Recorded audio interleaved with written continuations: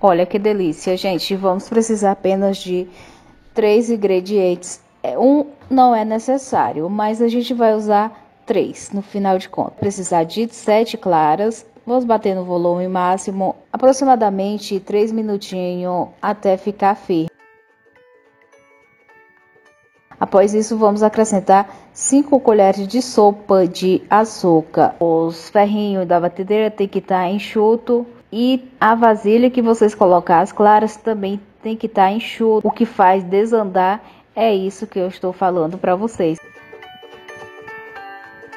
O ponto é esse, vamos precisar de uma forma montada com o caramelo, passei por toda a volta para facilitar na hora que a gente for retirar. Colocamos a nossa claras Vamos levar em banho-maria na boca do forno aproximadamente 15 minutos. Eu estou colocando esse ferro para apoiar e facilitar na hora de retirar. Colocamos apenas uma tampa para assar com vapor e o resultado é esse, gente. A gente vai precisar de um cubo de chocolate meio amargo. Vamos levar para derreter em banho-maria ou no micro-ondas.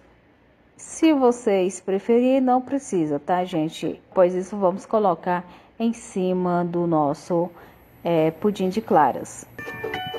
Uh, e é isso, espero que vocês tenham gostado. Obrigada a todos. Até o próximo. Aproveite e faça essa delícia. E depois vocês comentam o que vocês acharem. Hum, que delícia.